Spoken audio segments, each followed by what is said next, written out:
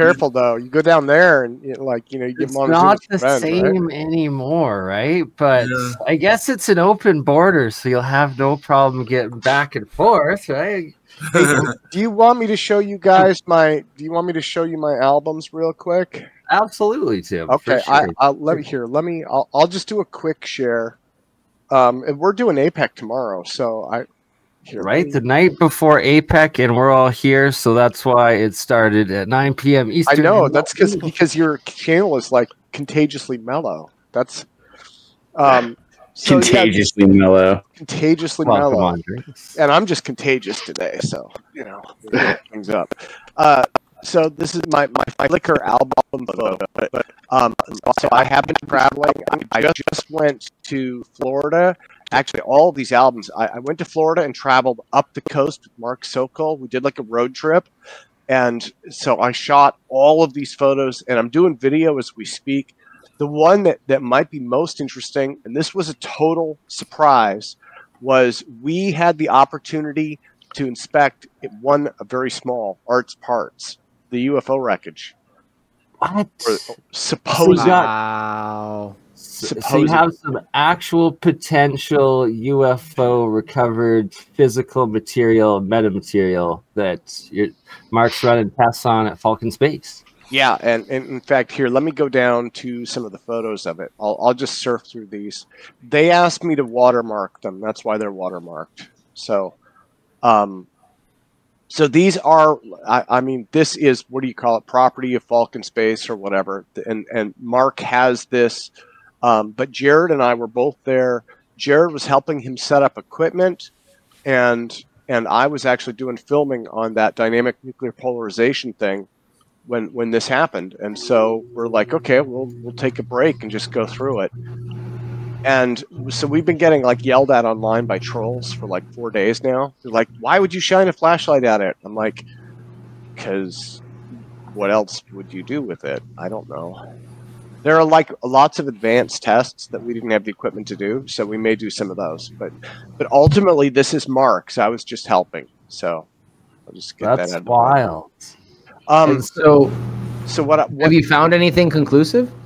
Well, so we did not do the, the type of test you can do. There's an isotopic test.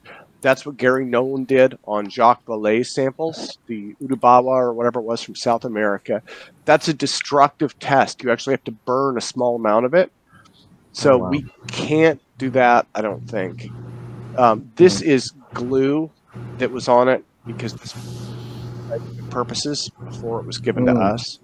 So that that white stuff is glue that was just used to mount it for for other for other labs. And Um, so was this stuff like the uh, bismuth magnesium composite, or is this Yeah. different, or do we know no, yet? it, it is it is, and you can actually see. Uh, let me see if I don't completely suck. You can see the layers. You could sort of see the layers. There, you can kind of see the layers in there. You can also see interesting structures. So I I noticed a couple. Jared Yates is probably the person to talk about this, and in fact, he is going to. Jared is doing a presentation at APEC tomorrow where he's going to talk about arts parts as well as a ton of other claims about recovered samples. Um, so what I noticed when we were here was if you can see these break points, you probably can't see my mouse, but on the side of it, you can see these ridges that go up and down. What's interesting about those ridges is it, it almost looks like the sides of a canyon wall in desert. They're almost like columns on, up and down, and yet it runs counter. The, they, they run perpendicular to the layering, the bismuth magnesium layering that you were talking about a moment ago. So the the surface of it is, you know, is like side to side. It's bismuth magnesium layering, but the, where it breaks, it breaks top to bottom, which is really weird. So there may Is be that indication of manufacturing? no, I think it it may be an indication of some kind of internal microstructure. This was Oh. just two different lights. This was a UV light on the bottom and a laser on top. By by the time we got to this point, we were like four hours in. We were just kind of bored. So I heard I heard one theory that they're thinking there you there know, go. because of the because of the complexity of the material that it was possible these craft are actually like grown. Yeah, it, it, it could be. Yeah. It could, it could very well be possible. You can see the, the layering a little bit in this as well. Excuse Did me. were they reacting to magnetic fields? It did not. See, we didn't do a ton of tests there, but it, it didn't seem to react much to anything. Okay. Um, what what we did see was there was some glittering on the surface, and Jared kind of hypothesized. You can see it in some of these photos that there might be like microspheres or microcrystals.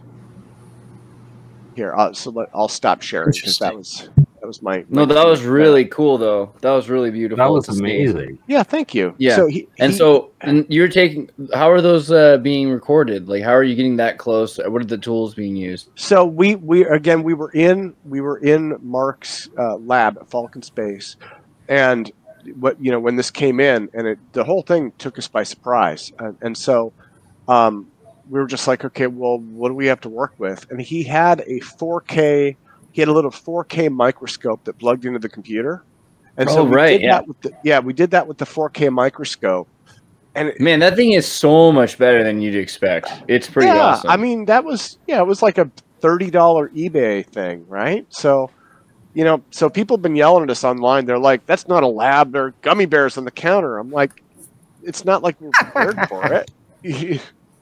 so, I, I don't know. I, I thought it was interesting. I mean, we we did not see anything that that screamed extraterrestrial, but it definitely reflected light a little bit differently than we expected, and it looks like it has structures in it. And I think Mark and or Jared may end up doing more. They, they may do more research there. So I heard his presentation. I think he said that he saw like honeycomb shapes in the structure. So I don't that's yeah. It, it looked like that. It looked like there were little hexagons. I was gonna say it looked kind of looked hexagonal on that, just on the little pictures he was showing there. Yeah. I, I mean, yeah. And, and then you know online. It's on- interesting. According on- to Dan Davidson, the hexagon shape has, you know, real power. Just the shape alone has the ability to harness power, supposedly. Yeah, I'd be I'd be interested to know what the resistance is in the material. Actually, do like a ohm reading test to see if there is a resistance in that nanostructure because it looks like it is a nanostructure, yeah, that's like- true. like a like a uh, amplified graphene uh, crystalline structure, right? Maybe. So what I what I guess what I can say about it is again that the person who gave this to us, we we have chain of custody on this, so we know, you know, and this can't. I, I can't. They they what they said was they don't want to be mobbed by UFO people, and this is one of those things where if their name gets out there, they will be right. And so, um, so what, I would say is this: the person that this came from is trusted, reputable. Pretty much everybody here probably knows the name, but we can't say who it is and and we have chain of custody on. So it is definitely one of Art's parts. Uh, whether or not those are extraterrestrial or just some old hoax, I, I, who knows? It, it has receipts that are attached to NDAs, essentially. Yeah, yeah, more or less. Because Well- those those came in, they went to Art Bell, and then I think they went to Linda Moulton Howe back in the '90s.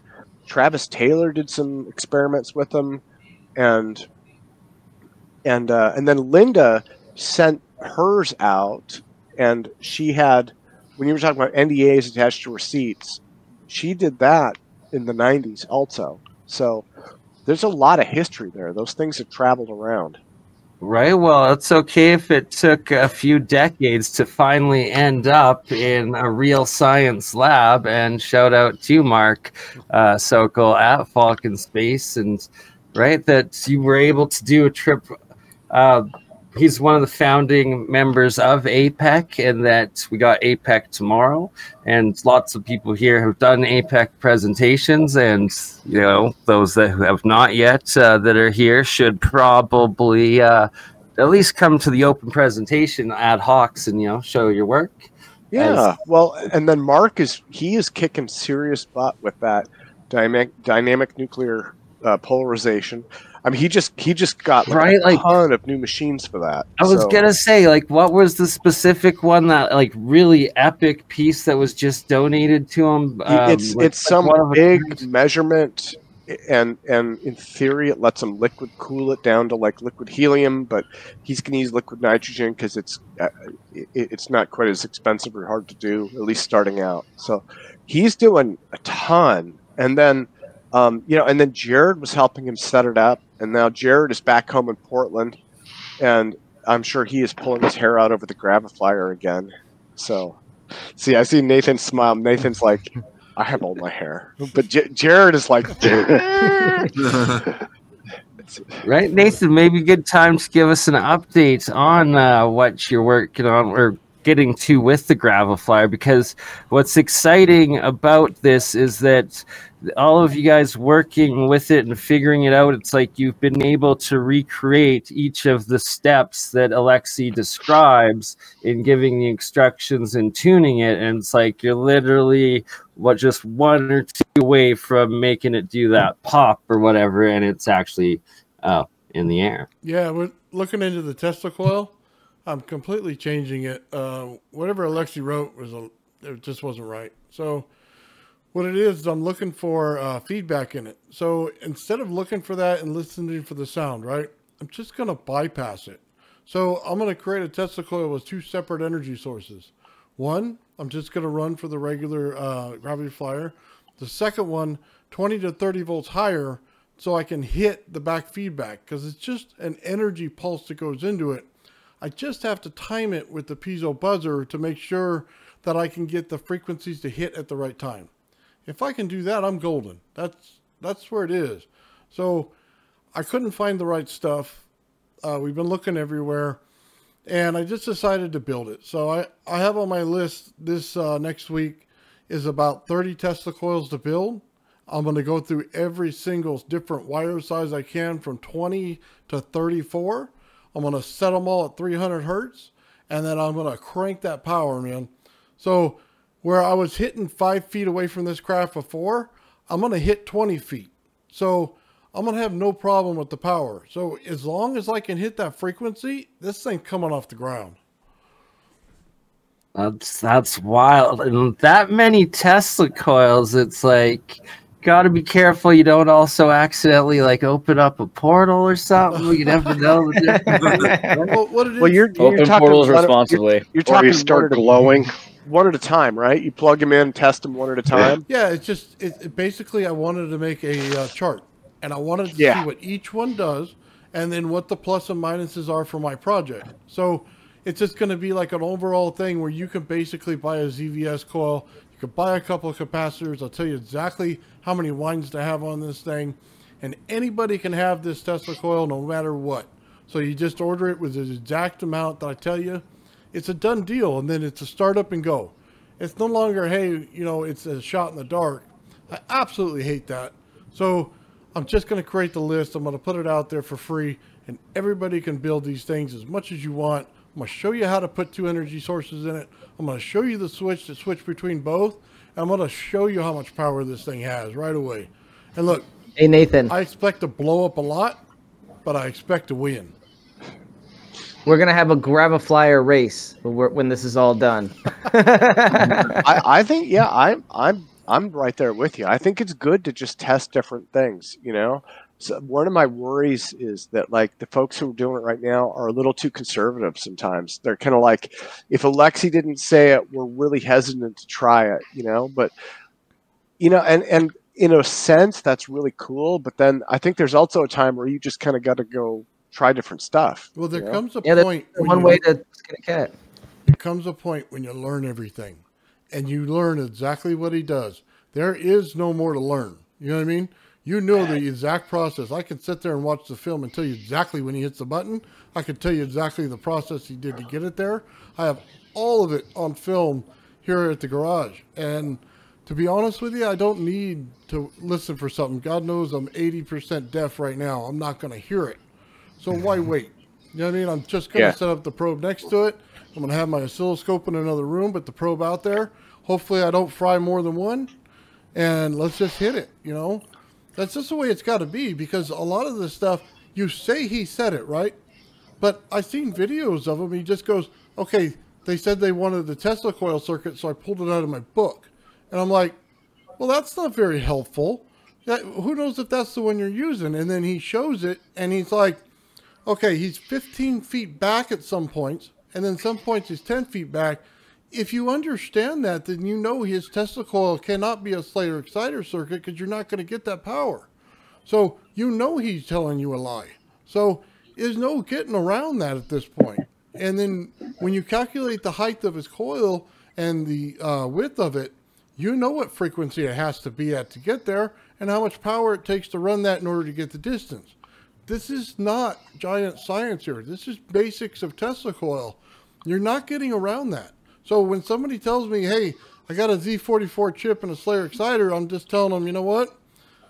Good luck, buddy. Because we're not getting there. It's, it's not going to work that way. You're going to have to put more power in it. Considering it's the only thing that moves the field. So you think of it like this.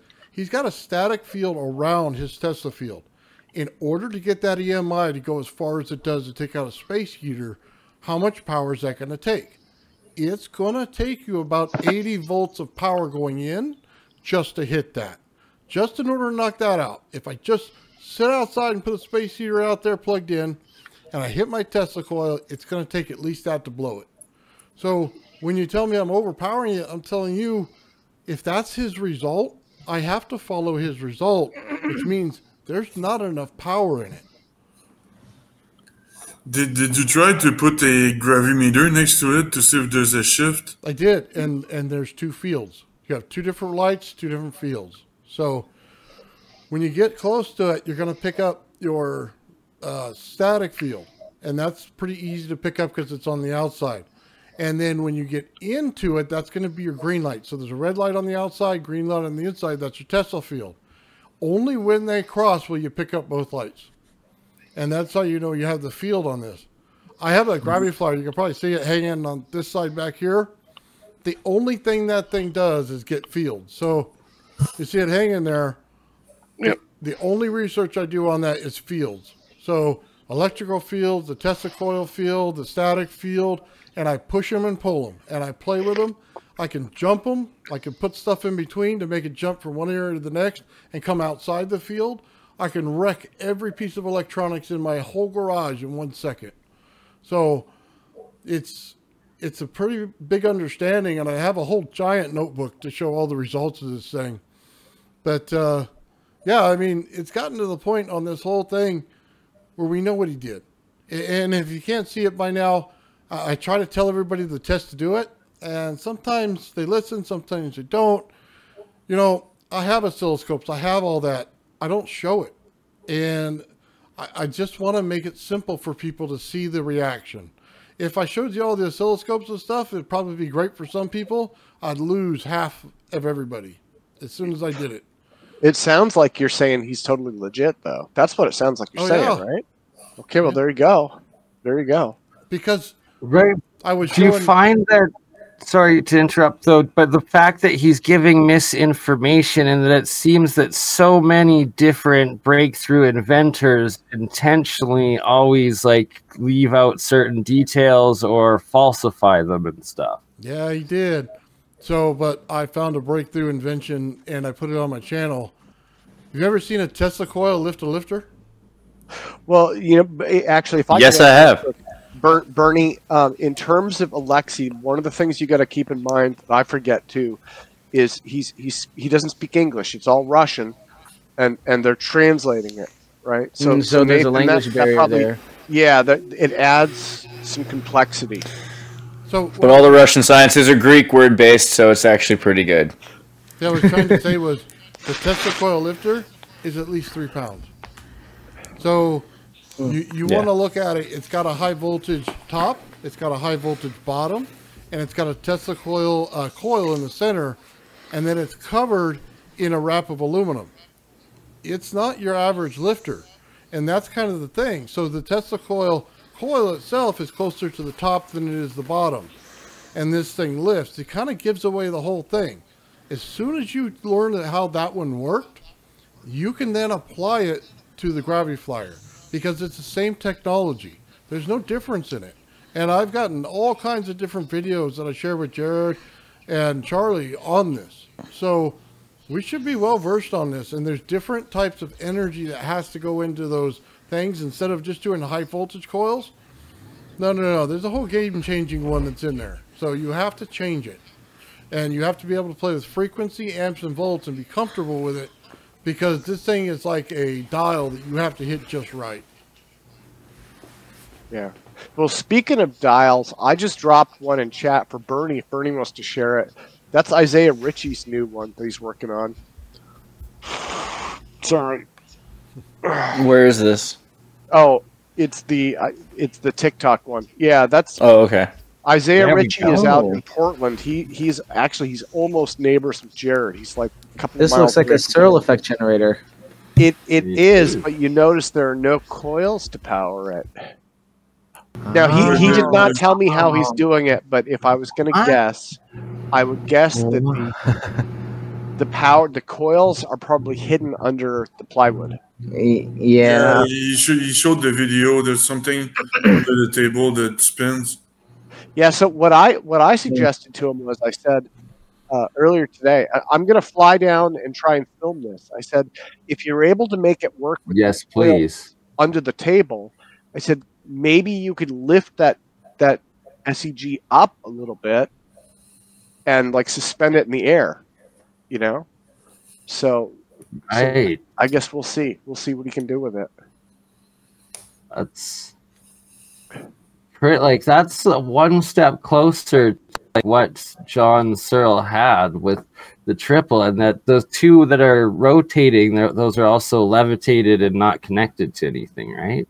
Yeah, uh, although I think it is being powered by, you know, and he didn't say this is I think this is more of a gimmick, right? But um I believe it's being powered by induction coils under the table. So I don't think there's any magic happening with this.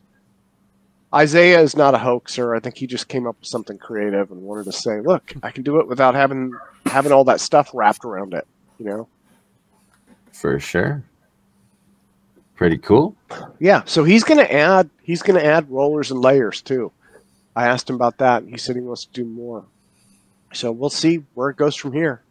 That thing is heavy, by the way. I mean, I don't maybe fifty pounds, forty pounds. I mean, it's like heavy, Really? heavy.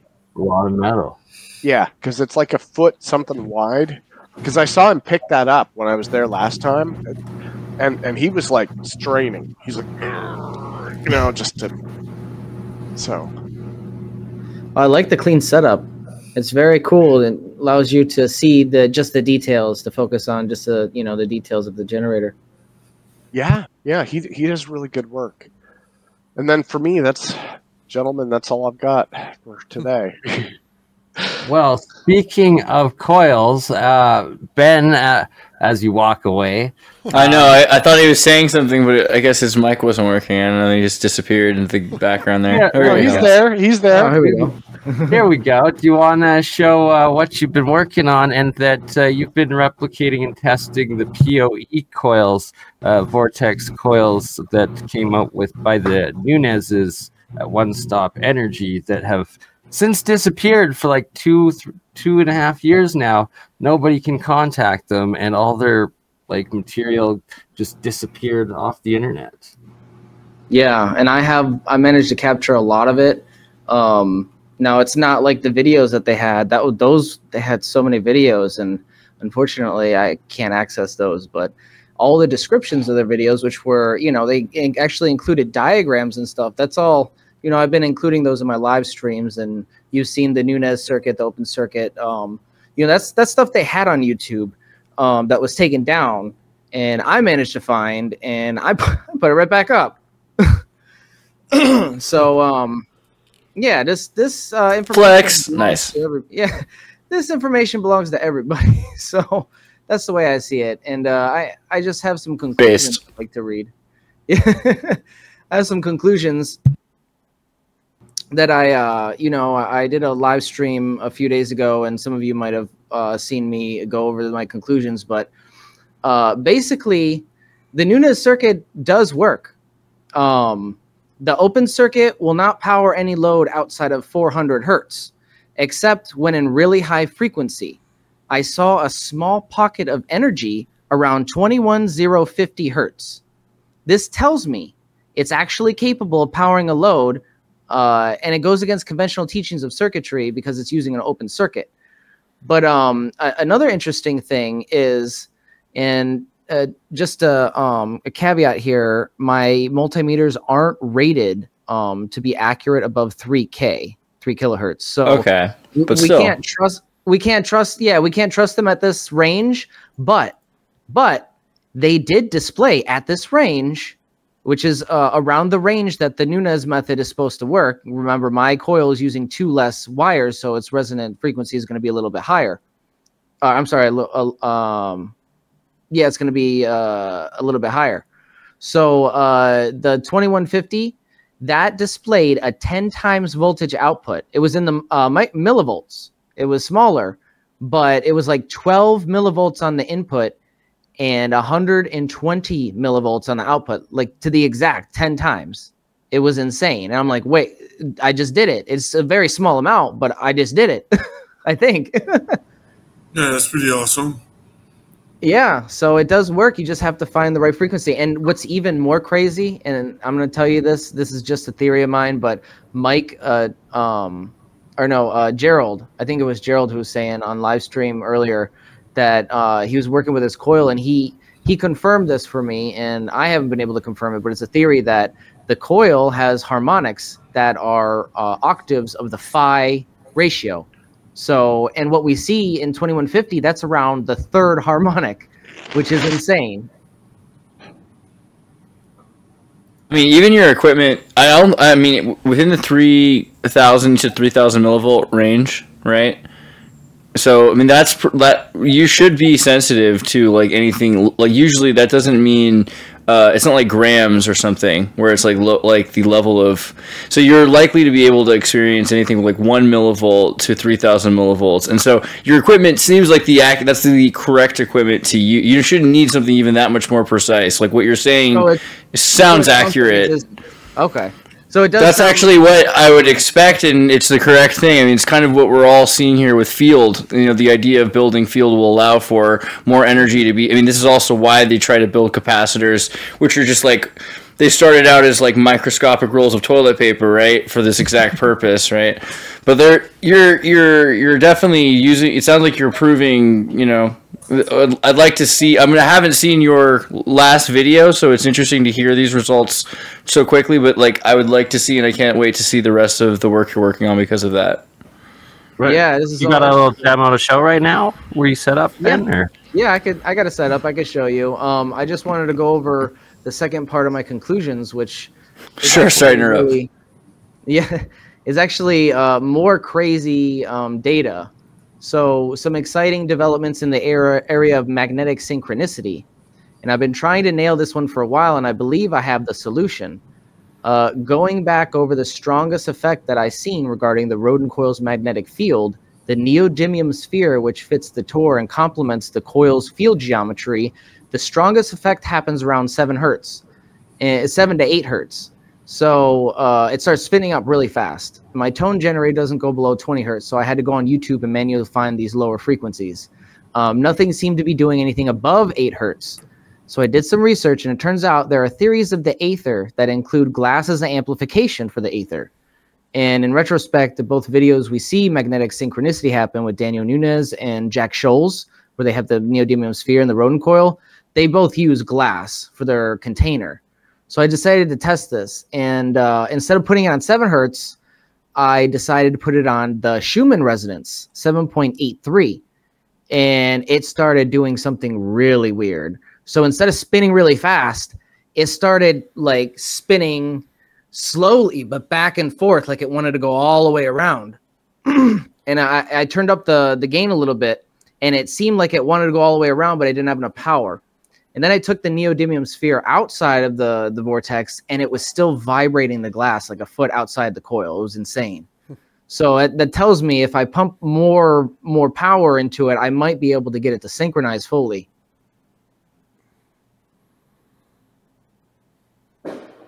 Interesting. yeah, it's it's really cool. Um, I'm really excited to roll out phase two testing. I got Mike um, and Nathan uh, helping me with phase two testing. It's probably not going to be for another month or so. I got to gather all the resources, all the uh, uh, equipment to build it. But uh, we're going to be testing the rodin coil on a battery in a, a um, Bedini circuit, the schoolgirl circuit. Awesome. Okay, that's Well- pretty cool. Give me one second, and I'm gonna I'm gonna set this up for you guys. I like that. That right. There's so much potential with these coils, and now that you guys are working together, and that's what this is all about. Like uh, earlier today on Ben's channel, the Old Man Builds Nathan here, you guys doing the stream and connecting and the just the sharing and bringing of all these ideas, technologies, and it coming together. Are you using any software to like model this? Like, have you used Spice or anything like that to do, uh, like, to test what you, you're before you build it? I think he's setting something up. We'll Yeah, get back to that. can hear you. Right? Oh, you know, Kill I. I should mention in terms Oh, of I if if you guys go, if you guys have a big event that you all go to or something, Mhm. I I'm I might be able to show up and bring the camera and get promotional photos, which I know is like really annoying for everybody, but like we'll have to do Tesla Tech or something. yeah, I was I was yes. thinking Let's that do a I'm gonna, conference. I'm gonna miss it this year, but I might go next year. Um, right next year. Let's plan for next year. Full year ahead, then it gives us a lot of time to promote it, and I'll get down there. yeah, you know, I something like that. I, dude, that's I mean, that's what I'm all about. I'm trying to like, what I'm trying to do is like market this community. I know it sounds cheeseball, but like, No, no, it's it's good. It's your mode, right? It's all promotion and getting it out. And the more the better. It's getting this No, that's science smart. technology. Oh, That's actually something that I recommend to a lot of channels who have important information is they need to, you know, learn how to market themselves um, to get at to, to get the message out there. And networking Yeah. is a big part of that. Yeah, problem is a lot of inventors aren't good at marketing. I mean, you gotta, you gotta, you gotta get a picture of like some. You get a picture of like a shocked vegan screaming like ah! on the front of the left side of the t- thumbnail, and then you have a picture of a laundry machine just shooting money, just shooting money out of the laundry machine, and then it just says like, and it says like how I got my money for free, and then it's like free energy, like parentheses, really small energy after the free money part. well, and our then community's not that bad, You but, just totally but lied. No, I mean, because if you think about it, like not spending money on your laundry, you know, machine. Like there are like six people I know now that have like a free oh, energy solution for their can laundry literally machine. turn old laundry machines into little hydropower generators, right? Yeah. If Mr. Beast only Hey. knew, you don't understand what he's missing out on. Hey, I just made the uh, I just made the Gerard Morin device. He uses a washing machine pump motor uh, to run the generator. I got that See? featured on my uh, site. So, and what's really cool about this uh, uh, pump that you get out of your uh, washing machine, I could spin it up. It's putting out 113 volts. I can put both my fingers on the terminals. I don't get electrocuted.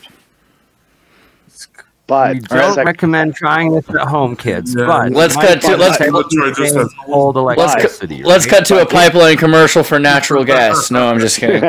yeah. But but the funny part is the second you take that power from the washing machine pump and you put it into a transformer, then it becomes lethal. So what's happening inside that pump? If I'm able to put my fingers on the leads, I don't get electrocuted. I can wind it right out. But the second I put it into the transformer, now it's lethal. So what's happening inside that pump motor? You're, building it with less. And all it amps. You don't have enough amps in it. oh, it's got amps, so I can But run it- 57 it's, watts. It's not usable amps. You're not in AC yet. You're in a uh, sine wave, but you're not in AC yet. Yeah, what I think is happening, I, actually, I think it's a half wave. It's not a full sine wave. Yeah, so it, it's folding, going right over the surface of you like a, a bird on a high voltage line. Yeah, kind of like the skin effect. Yeah, there thing, you go. That's what's happening. As soon as you rectify it, uh uh-uh, uh, do not touch that. Yeah, exactly. As soon as you put it, like I got it hooked up with a 700 watt uh, microwave oven transformer. Yeah. So I put it through that, and then I send it to the lights. Plus, you know, So- DC DC is a little different these days. It's not like your your Edison's like electric chair DC. We've got a lot of USB peripherals. I'm surprised how much of my life runs in DC now. I'm I, I used to like swear against it and think we'd all be in some like ener- like AC Nikola Tesla energy field, but USB, man, like I can get a lot out of like non non AC solar panel without any inversion, just using those tools now. Yeah, well, and then all of your battery stuff is DC also, right? So yeah, Exactly. So it's like you can collect in ways you would have thought before. Okay, well that energy I have to like I have to AC that energy. I have to convert that energy. I'm going to lose a lot in that inversion process to have a pure sine wave inverter. That problem is 10 or 15 years ago now. With all of this crazy stuff from China, all the DC based stuff, all the half volt, uh, you know, USB, and yeah, those Why battery did systems. Stuff was Gerard Morin, right? Going to China and taking it there, the DC motors and stuff. Like, Yeah. what happened to Gerard Morin? Can Yeah, he anyone just- contact him these days? Like, He just dropped right off the radar. I think the whole YouTube uh, thing just really uh, cheesed him out. well, he started manufacturing out of China, and then like Right. I think he actually maybe ended up over there. Who knows? Yeah, where's where's John where's jo- where's John Jared Galt, right? John- Uh, uh, uh oh, uh oh, you busted. Andreas, they don't know the reference. I'm always it, it, people get it. It's like uh, I can always get about eight seconds later. It's not very good for TV, but at least people get it eventually. No, they're still working on it, man. Jared, who? See, one? It, I it's, see. it's See, a- it's an age thing. John Galt is a character in Ayn Rand's Ayn Rand's novel Atlas Shrugged, which has had many movie adaptations, movie adaptations, and all of the movies sucked. I believe that is why I never watched them and then didn't read. You gotta get the book. books, get the get the Audible, get get get the Audible file. You know, listen to it. Maybe that'll help. Listen to it while you drive. in AI Zertis voice, of course, though. Oh, way better idea. Yeah, where's that app? He, she had, uh, and the thing is, like, she was talking about uh, trains. That was the big thing in Atlas Shrugged. Like, and that's, I think, one of the things that makes it kind of dated. But she was talking about, like, train barons. She was kind of, it's almost like an 18th century idea, but like, because she was from Russia, right? And they had lots of trains still in Russia when she moved here. And so she wrote it up based on that. And I think a lot of people, it just doesn't resonate because, like, we're in the automobile age. But I I feel like that it, it's more and more relevant. Like as we become closer and closer to how things were in the 19th century, at the end of the 19th century, we're less than one percent Yeah. own 99 percent of the resources. And also to remember, trains were ubiquitous until World War II. Like the Japanese, the the Californians used the Japanese threat. They're like, what if the the Japanese landed in California? So to just blow up the trains. And this is like that Who Framed Roger Rabbit movie. Like they, it was very recent the destruction of the infrastructure of trains, and I don't know. I feel like around the world, especially, it's still true. But they they have adapted it to be about like uh, new fuels, new kinds of fuels, and things like that. in the movie, in, Yeah. in that last movie. Yeah. So the Atlas Shrugged was. Uh, let me see. What, what what would the summary be? Basically, it's like the the smartest innovators in the world. Basically, like the in the book, like the entire world, they just get tired of getting ripped off. Well, I would I would say the innovator. Anytime there is a problem, uh, it's being exploited by a group, like a guild, like a mafia, like a, and this this kind of uh, infrastructure is keeping people paying one hundred and fifty dollars a gallon for gas, or you know. A thousand dollars for a ticket for a train or whatever, or if you let's say you're bringing your supplies west and they can charge how much it's going to cost to bring it west because you have to use their trains to transport it. So all of a sudden they can take a huge tariff of your transport, right? So there's this huge monopoly, and somebody comes along with a solution to that. Is like, well, here's something that's like a car, or here's something that's another way of getting stuff there. The whole it's going to revolutionize everything. It's a disruptive technology. Somebody produces a disruptive technology. Oh, that's loud. Oh, it's loud buzz. I'm just gonna unplug these for a while. Bernie, can you mute that? Would That'd be cool. What, oh, what is that? I think it's I think it's oh, Ben Oh, it's- Benefactor. Ben, be yeah, yeah. it was Ben. Sorry.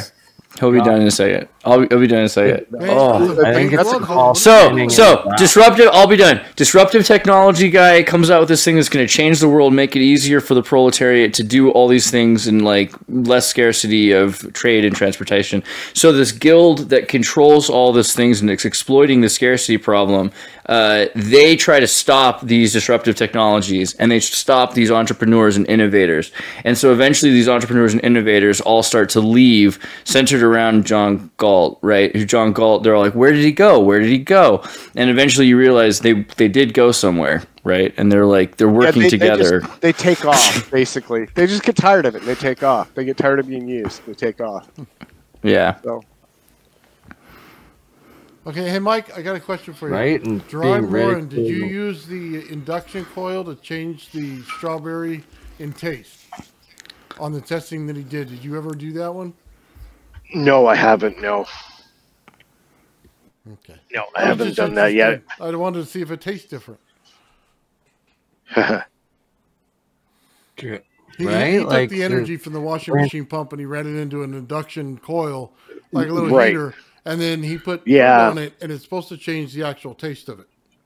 really? I have, I haven't tried that one. Hey, Gerald is around. Oh, Gerald's on. Maybe. Yeah, maybe we should they emailed you. earlier. Um, we Yeah, should Benny uh, solo on Benny and see what he's got on in that lab over there. Man, he's got some big gloves. I haven't used those kind of gloves since I was welding. Oh, pot roast. Look at those things. I haven't used those gloves since I made cookies. yeah, really. Wow. I thought it was low voltage. yeah, those are oven that's a cool coil. I like the coil. That looks beautiful. Yeah, that's the Rodin coil. Is that it? Right, it's the P POE, the Peace on Earth. It's based off of the road mathematics, uh, but it's created by One Stop Energy, the Nunez's. That's yeah, that's a cool coil. Oh, they can see the is it magnet? I or know, um, remote Ger- spinning? I know Gerard Morin when he was uh, using his pump, he was uh, putting it into um, you know the ionizer transformer. So he was able to get it up to a really high voltage, and then he would uh, put it through a spark gap, and then from there he was able to run something like a thousand watt uh, sodium um uh, crystal uh, lamp that you know the hydroponic lamps Yeah. and uh, he was running that, and that gave off a really interesting field, not just like photon or light, but it was the electron field that was accumulating around the bulb and the electrode. It was really, Really? interesting. Because that's supposedly where Walter Russell holds patents uh, for achieving noble gas transmutations in those sort of uh, Yeah. bulbs. And I believe it was with General Electric or something, either that or Bell Laboratories, one or the other. Yeah. But See the re- yeah the reason why I built the device the way I did is now I've got a good platform to um, um, experiment with now. So I got a, something that I could swap stuff out, put stuff in, whatever, add this, add that kind of thing, and you know experiment with that. Right. So at least I got a good platform to work with now. 100%. yeah, I like it. It That's what looks it's- cool. Yeah, Right. Do you have a it's really smaller efficient. ball, Ben? Do you have a smaller ball for it? And welcome, Gerald. No, I don't. Unfortunately, I got a bigger ball. Oh, nice. I can go larger, not smaller yet. so, if anyone's got extra balls, any you know iron or magnet uh, balls out there, feel free to send them to Ben. Yeah, that's not gonna even. Do, that's not gonna do it. I bet if you had B, you know what, Ben? Have, uh, could you do BBs? That that would be the easiest way. Pick up some BBs at the store. Oh yeah. Good call. Good idea. Or ball bearings, maybe. I don't know. Yeah. BBs, yeah, Yeah, or uh, you bird, bird, bird shot. You can get bird shot shells. And then maybe also see what happens with copper, aluminum ones, iron as well. Compare. Well, I, I predict if you were to put copper in there, it might actually start heating up. Oh yeah, probably. Well, Ben, I have a question. Does the rotation of the ball or iron, ferrite wood. You said what, I Lulu? said the the rotation of the little uh, metal balls, like it, it- I saw it going, you know, counterclockwise. Does that is, is that an indicator for anything? Like if it goes that way or that way?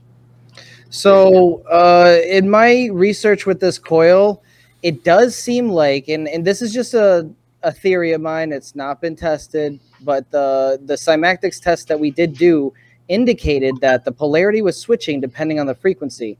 So, I think, depending on the frequency that you have it, yes, it, it will either do a counterclockwise or clockwise rotation, maybe.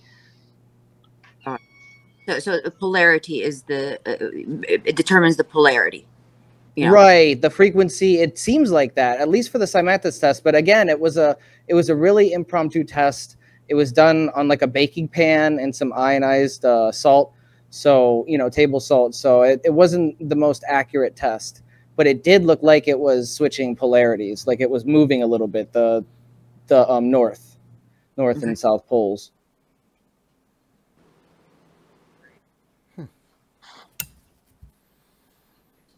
Although when I put a digital pole detector up there, I can't detect the North Pole ever. I've detected a South Pole one time. I think that's when I flipped the donut, but yeah, I've not been able to detect the North Pole at all. Uh, here's an experiment you could do. For the. Um, get get two plants and um, grow them right from from a seed. Put one near your your coil for you know because you're you're probably doing experiments every day, right? So Good call, put, Mike. put put a plant near your your setup, and then put the other plant in another room. That's and like a then torture just- chamber for plants.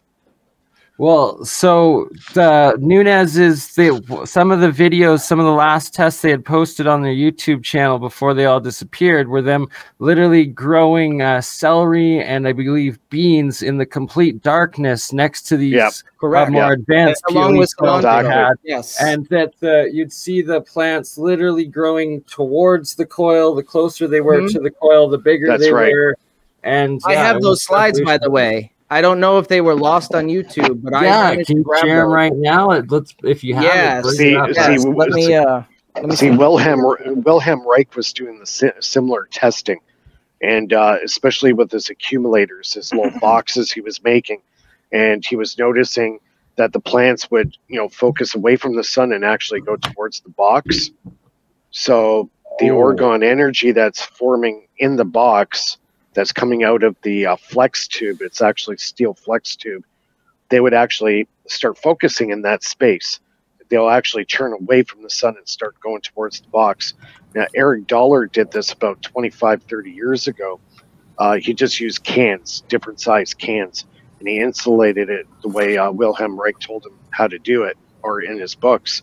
And yeah, sure enough, he put it right beside uh, his garden. And within a few hours, all the plants started turning away from the sun, focusing towards the direction of where his box was.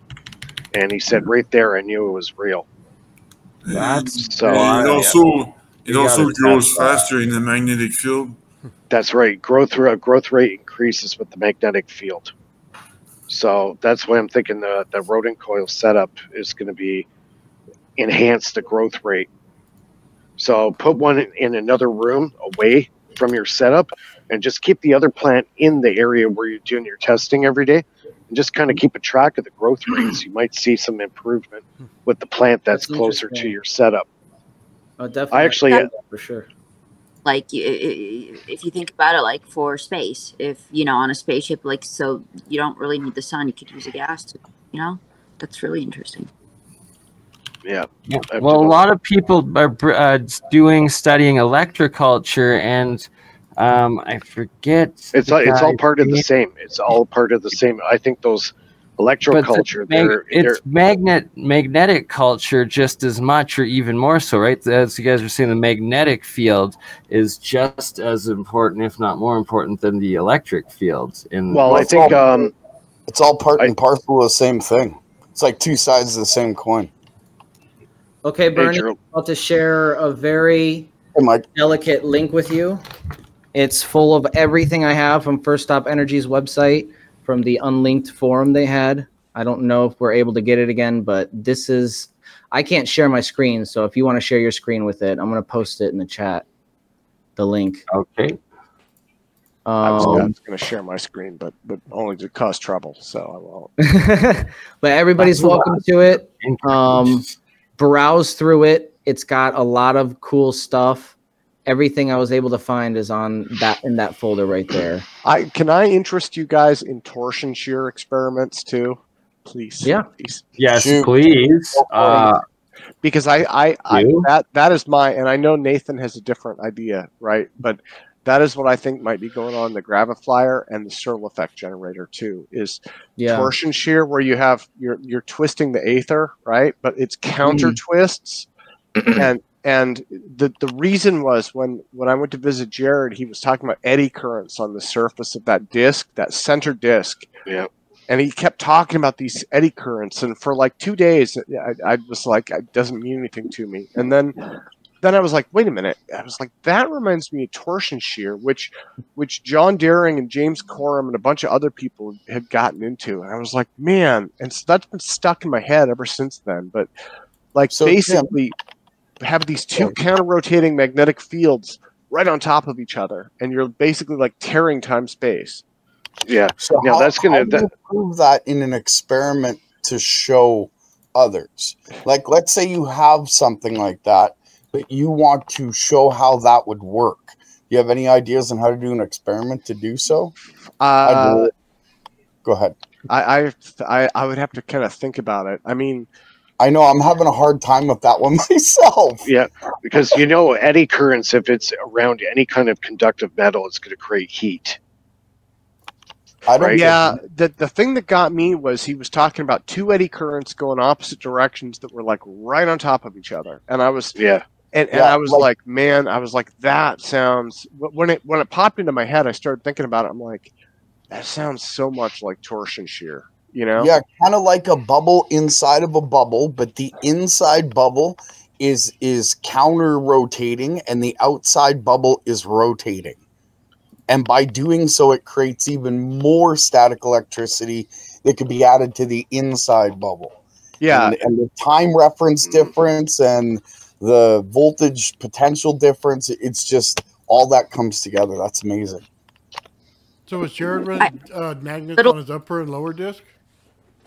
I- I think little compasses would could be an in, a good indicator if they, you know, start moving erratically. You know, you're, you know, you're distorting that space. You know, because still like just simple little compasses.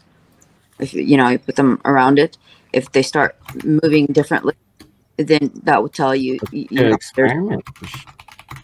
Right? Yeah, it's Like, gonna be affected by the magnetic field. see which way it's going and like, I mean, these things, nothing but you know. Yeah. Just put it in the center of your coil and turn the power on, modulate it, and see if it starts spinning it. Then you know you got a vortex spin Yeah. in in your in your coil or your inductor or whatever. It's a very simple way of seeing that. So did Jared have magnets on the top disc and the bottom disc? uh, he's he's tried both, and I think his his default has been only on the bottom disc, but I think he recently put him back on the top. Last time I did it, it just made the center plate just uncontrollably wobble. Yeah, I remember seeing that video. Yeah, it was it was bad. I guess maybe the magnets were too high of a magnet. Ooh, look what Gerald has pre-set up for a presentation tomorrow. whoa. But giving us a little sneak peek tonight. Yeah, I I- picked up a few extra meters earlier so that I could demonstrate something. Nice. Um, yeah, Nathan, I, I wish I had better ideas. I'm kind of, I mean, I guess we're all, y- y- you know, well, at least me. I, I will admit to shooting in the dark with it, but, you know, but that torsion thing, I was thinking the SEG might might be the same deal. Well, just think of it like this. You ever see that uh, video? You probably all saw it. The magnets on the bottom, and you have a big coil on top of it, and then it jumps in the air, I think so. and everybody calls it levitation or whatever. Well, it's not interesting that it jumps the first time because it just be bouncing off the tabletop. It's interesting when it jumps a second time, because then you have an established height of a certain uh, item like the magnet. Then the then the coil jumps off it as well. So you get the double jump, and that's what's interesting. That's what I'm looking So for. I've got a question for you then, because I've done demonstrations of these vortex coils, uh, a smaller one, two inch, and it can hold itself up two inches above a neodymium magnet, and you can put five times its own weight on top of it, and it'll hold it stably.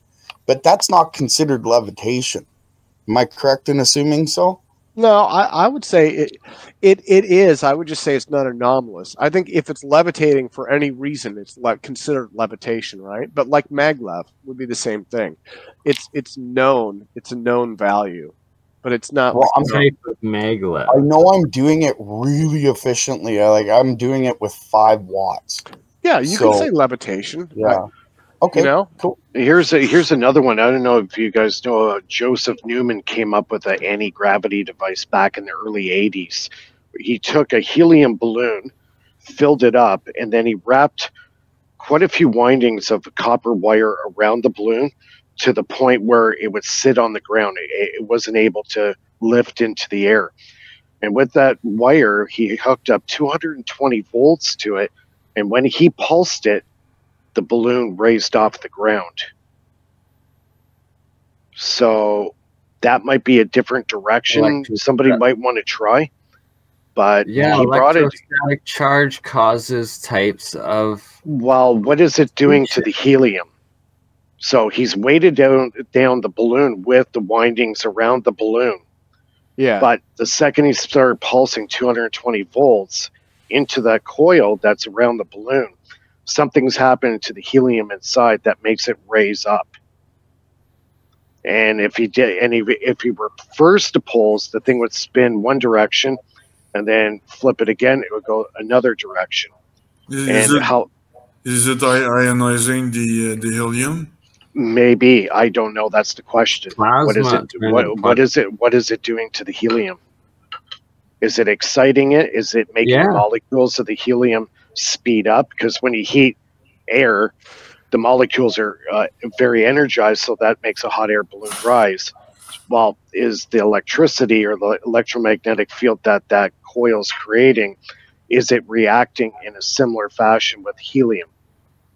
Maybe So it changes the the, press, the pressure inside by uh, ionizing or something like that, and then it Maybe. lifts but interesting concept, uh, kind of a different direction.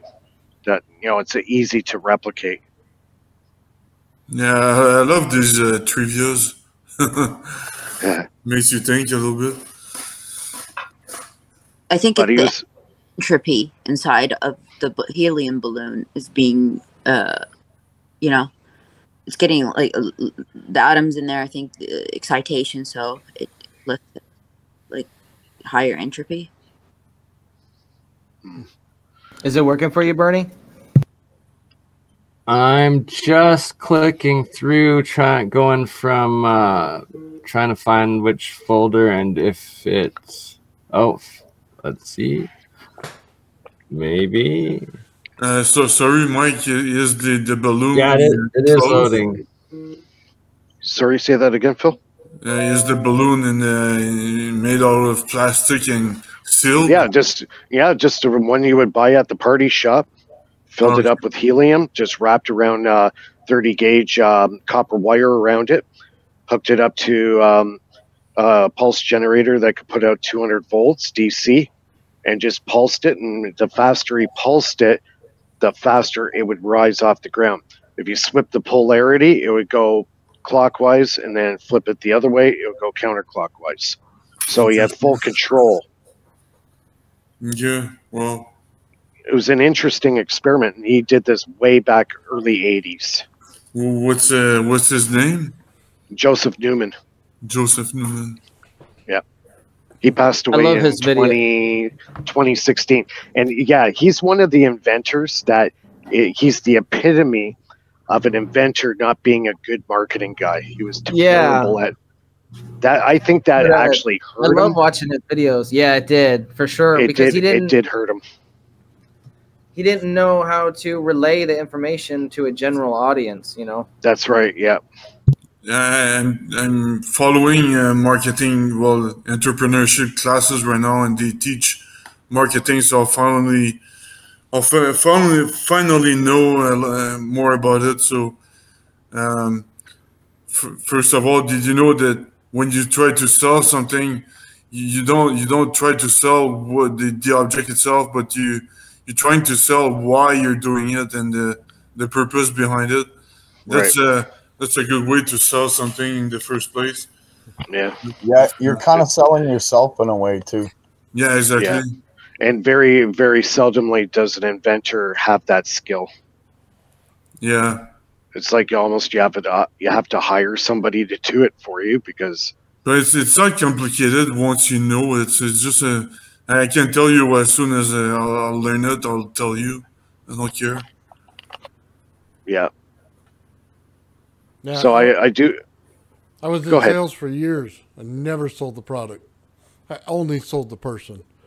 Within a few Yeah. seconds, I could read that room and I could tell you exactly what he needs to hear. And 90% Mm-hmm. of the time, had nothing to do with the product. Yeah. There you go. Yeah, it's not uh, opening a lot of the uh, files. I couldn't find Which any files? like, with the plant growth, like showing the plant Oh, one. let's- Oh yeah, that, never mind. Here it is. That actually okay. Is that I see more, what's uh, going on. Oh, there Yeah, you go. that- yeah, yeah. So th- there's a lot in that archive that you can go through. It's it's fascinating. I recommend everybody go through That's it. the plants. That's the plant. growth. Yeah, the plants, Yeah. and then one next to the coil being larger there. I Yeah. was Even just share have, a picture that said, I, "I'm not a vegetarian because I love animals. I'm a vegetarian because I hate plants." But uh, the videos were way, way more, and uh, it's hopefully we find Yeah, them them getting taken down is one of the Oh, reasons yeah. why I didn't show my mung bean experiment. I figured they'd take me down right away if I did, so I've just left that So- on the back burner. well, So, Bernie, you- magnetic. Some of their videos. Sorry. You seen some of their videos? Their plant growth videos. Oh, I watched all of them several times. I was like Oh, talking with them all the time, and like, yeah, it's, uh, I wish I had. I, I just actually had that those videos played on my old channel that YouTube deleted when someone Oh, porn wow. bombed me. So it's like I had backups, but they're gone So, because How did that happen? You just let on the wrong person. Uh, I was on if I did a 48 hour weekend at Bernie's live stream, and 24 hours into the live stream, I posted the link for like panelists to join. And at those times, there was like those annoying porn bots, and I'm pretty sure it was the dude operating the porn bot that like clicked the link, and but he had stolen some like regular community members like profile picture and name so he was like imitating someone so i like let him on and as soon Mm, catfished you. yeah yeah just Oh wow. and it was like 10 seconds of this guy like wiggling around his, his like probably literally the smallest penis i've ever seen in my life if i'm being honest and like i then delete like booted him and then i continued the live stream and like had so many other panelists and stuff for another 24 hours then it turned out like 48 hour stream and never issue again and then two weeks later just my channel disappeared and never again and it was attached to my oh. university email and it's like deleted for pornography Oh, that that even makes it worse. I'm sorry. That sucks. That's terrible. right like Yeah, when you're over Come the on, target, they go like- after you. What the f i feel it should be reinstated but The price. three years on here we are The price to pay when you for your for the fame, you know. yeah, and uh, we got Gerald here. That's Mister Shadow Band. right like Absolutely. hey, you know what? I gotta thank everybody that's out there. You guys have raised my subscriptions to let's see, it was at 670. I think it's back down to 668 again. I'm not sure. I watched it go down a couple times and then go back up. So I'm not I'm not sure where I'm at, but I gotta thank everybody that's out there for trying to boost it. Yeah, I know. I gave you a shout out on my channel to try to get some Well, apparently you guys can't even find my uh, videos if I give you the title. I actually Yeah, to- I, I don't get any link? notifications Oh, at all. I get them That's now. crazy. That's weird. Do you? Yeah. Yeah. that's awesome. Well, at least they're coming out a little bit. what do you Yeah. do, right? I mean, I don't know. I'm Gotta just doing what the I algorithm. Yeah, maybe. Um, have you considered trying to share your stuff to other platforms? So you bring in, you know, outsiders from like maybe Facebook and Twitter do. I and all can't that get. stuff. I can't get onto other platforms. I've tried. Once a month, I try Facebook, Instagram, Twitter. Um, I try them all, and I don't get emails back. It's like Hmm. it's interrupted somewhere in between. Even, I- I even couldn't- Twitter, it's when not, it came to Tim and setting up the whole uh, tomorrow's presentation and thing, I didn't get emails from Tim for a week, and it showed in my email like six days ago, and I'm like, what? So then I emailed them back right away. So y- I'm getting messed with. it is what yeah, it is. that right? sounds like a problem. But I mean, if we network uh, together, we, I'm sure we can find some kind of a solution or workaround. yeah, do a Zoom call when you guys are Like- all on. Uh, Am I Yeah. spelling this right? you use a, whatever. use a Oh, no, not. VPN. That's use why. a VPN or something. Gerald. Gerald. I tried And that. we They all, like- me when I do that. Oh, it There it does. right there. See? You know, share your stream to our audience. Hopefully, that helps boost it a little bit too. Oh yeah, it's all because of you guys why my subscriptions have gone up. Not not to say that my subscribers aren't passing it around because I thank them too. I'm sure they are, but uh, Yeah, you on- just it compiles. You, know, you want it to maximize. well, you think about it this way, right? I watched Bernie lose a channel and then open a new one. He's somewhere in the thousands.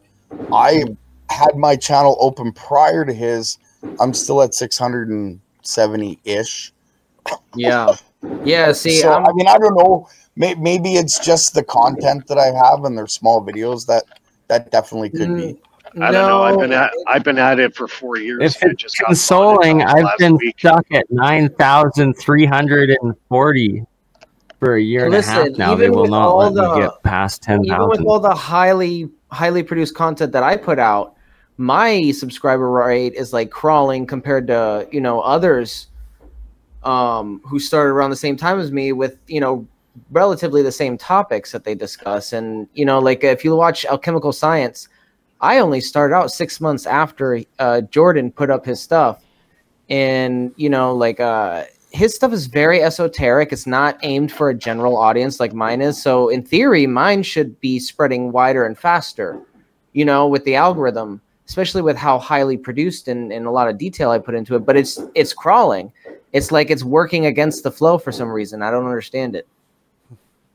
Maybe science isn't just sought after the way it used to be. That could be part of it. too. yeah i mean I, or the algorithm just fa- uh, you know like it's favoring stupid shit that people want to see Yeah, like cats. No, like it's not each true. other or something. millions of Get a million views on do-it-yourself build videos. You know what? We'll, And we'll like, have yeah, look up at like the, the shitty free energy videos that are fake and stuff. That's- It's like they get like that's true. millions of views. It's like Bernie, we'll have you they- dress up they like Taylor Swift. i don't understand that We'll have Wait, Bernie wait. I like like Tim's Taylor idea. Swift. What was that? Bernie needs to dress up like Taylor Swift. Taylor Swift does There you awesome. go. There you go. Bernita Hey, Bernie. That's right, Oh, no. Bernita. That's Maybe I'll wear rabbit ears or something and see what happens. Oh dear. It's about we the need a we need a really big youtuber like engineer to come out and say you know because uh, i see a lot of like really big you know youtubers like ElectroBOOM but like at the start of a lot of their videos they're like oh you know well first of all All we you know like we cannot break the laws of thermodynamics we can't achieve over unity and it's like well, Well, if you're see, going Go ahead. I'm sorry. I was gonna say, like, if you're you're teaching your audience that, and we already know that we can achieve over unity, and you really haven't done a good service to your your viewers. You know, we we need uh, uh somebody who is able to overcome that mainstream bias. You know, with a big following. Okay, when it comes to the laws of thermodynamics, those are the things that are first touted instantly. The issue with that is the laws of thermodynamics were designed in a to be under a vacuum and in a linear situation. Whereas right, the closed system. what we're yeah, and what we're talking about is is Exactly, uh, just a closed system, system. and everything is an open spin, like- system. You have an antenna, you open your system. system, and it, it, yeah, it's it's crazy. It's literally that everything can be an open system, but they try to apply the law of thermodynamics because saying that you're breaking it, it but it's only under closed systems, and as soon as you have any additional source of energy coming in, well, it still works in the laws of Well, thermodynamics. It's it's ridiculous. been drilled into physics students' minds for years, and and I wouldn't say it's a form of control as much as it is just a way of of uh, them directing what research they want in in comparison to There- actually having uh, the ability to maybe have free energy or over unity. There's also remember, a in big ego. 1951, there was a law passed stating that the United States could never have any systems that were 80% or higher. It, they True. can't. They won't patent it. It's against Um, their law. But there's there's also a big ego amongst yeah. mainstream academia. You know, remember, Yeah, you know, like these people like don't like to admit that they don't know something. You know what I mean? I agree, but ego can be overcome. People are people, right? But at the same time, like I get what you mean. It's hard to break through the ice. It really is. No, but uh, if if a PhD says anything against the mainstream, he he, he might he might get uh, banned from publishing. He's not going to be able to publish anymore. He's going to lose his reputation, and he might lose his job. So he they just can't, you know. Yeah, yeah, but blacklisted or whatever. Yeah, so You're, you're absolutely right. But all the PhDs in the world, all the Yeah. master's degrees in the world, aren't going to l- literally add up to squat if one of us hops either a coil or a Graviflyer and and makes it levitate. It'll Exactly. change everything. Well, I got So- news for you guys. I don't use any of those words on my channel. Half the people think I don't even understand them. Like it, people PhD quoting me all the time. You're right. It will change everything. Absolutely. I don't even bother using them. No, Yeah, I I'm not an academic. I'm really not. I understand the language and you know the the calculations, but I'm not an academic. Well, like John Hutchison, the furthest from a academic, and look what he's done, right? It's like Well, you pro- kind I- of I I the mean, if I could offer a, a few thoughts, I, I've done a lot of marketing, and, and one of the things that I've found is this is a, a relatively narrow community, and and that's okay, right? Like one of the things in in these areas is like you want to try and get as much reach as possible, but like I promote because I do a lot of UFO stuff and and you know all sorts of innovative propulsion and stuff like that.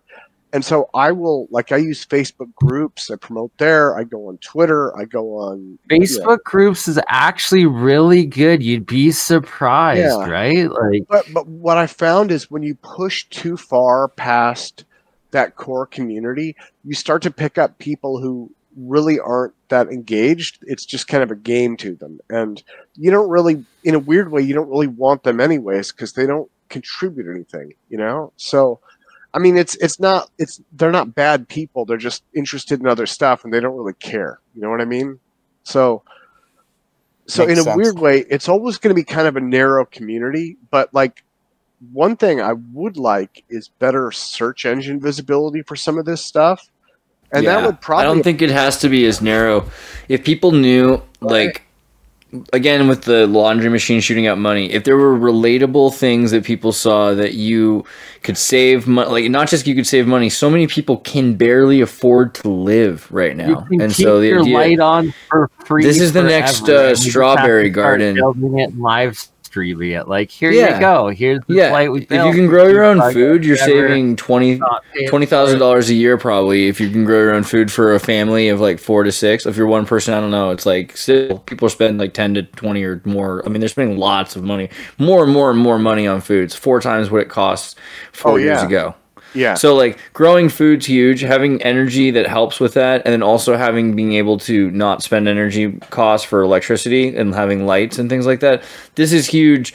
All over the world. Places that are off the grid, but also now places that are on the grid that are feeling. I mean, like how many places in California have there been a storm where the power's been out for three days? How many times has there been people in New York City during a snow storm where they had to like have USB outlets at like four different places in the you know the entire city that everyone would go to? I, I mean, I think it's it's more and more about how this can be applied to your life, and we're we're like the comfortable ones able to play with the technologies like well if this doesn't work i'll plug it in right now. But i'd like to try it's like when you're the early days of linux. So this is cool for people that are curious about the technology right now but it's about to become a necessity not just this um, kind of interest of ours. That's kind of the way i see it. I think it's narrow as right now it's a curiosity but it will become a broad necessity. Well, can, yeah, because we have many can third world countries that are going to be dependent on this. Let, let me share i, I want to share my i don't know if i've shared this with you guys before but this is something that i've seen like from doing my podcast. Let me see. That there that's better. Um, so this is the buying power of the us dollar right? Because if you go on online and look and i know like andreas you've probably seen this a million times but not not everybody keeps track of this. But like the the value when you were talking about food costing four times more I mean, some of that is profiteering, but some of that is Eh, just Tim, the scariest part is if the US dollar loses reserve currency status and what this chart will then look like as hyperinflation.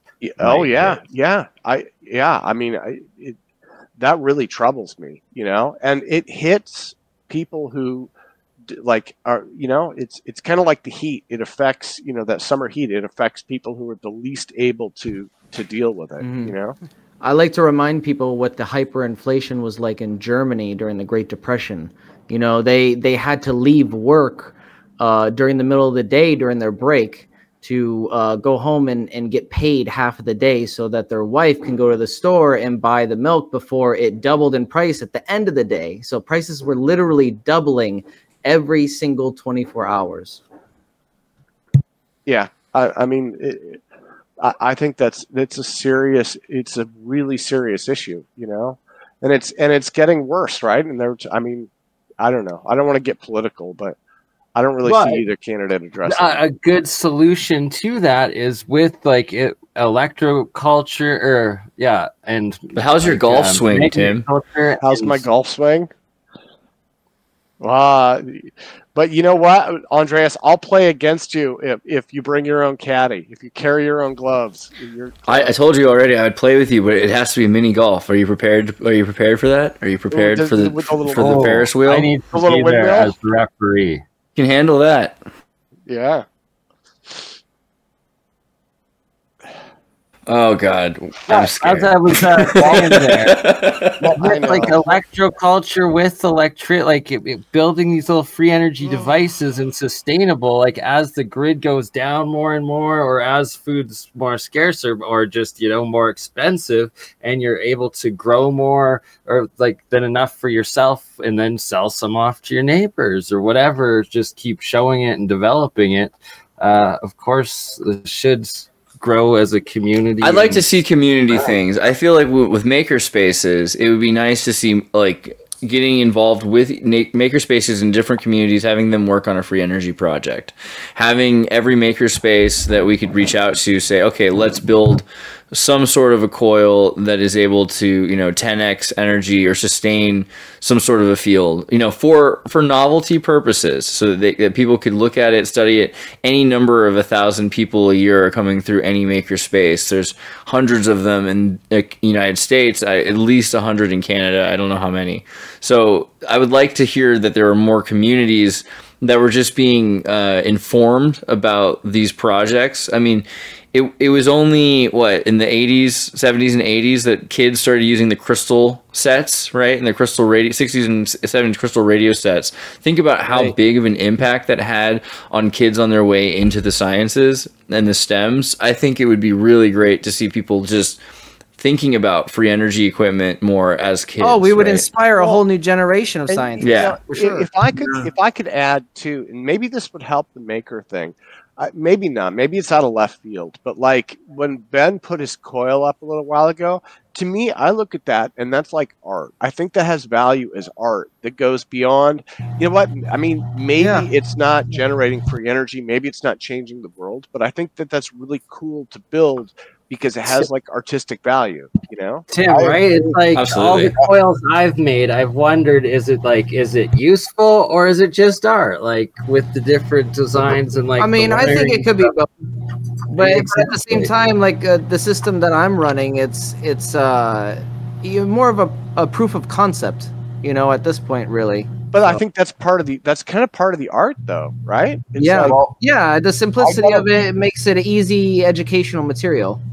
I got a few coils that work, and then I got about 160 that don't, that are art, right? and they're- all look like art. No, these so coils are all I'd love beautiful. I love the designs and patterns of the Rodin coil. All of them are like the star pattern, the the traditional donut, which is probably really hard to wind. They're all beautiful. They're you're right. They're all art.